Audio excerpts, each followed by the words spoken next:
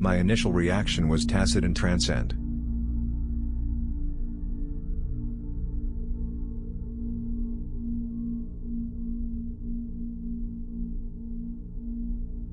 It is like I can now understand the whole meaning.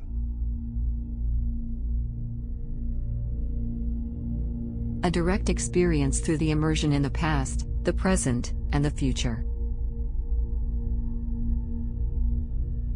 Be prepared to invest the necessary resources now, not just to remedy the inadequacies of past practices but also to prepare systems for the future. Altering by this way our social, environmental and economic perspective.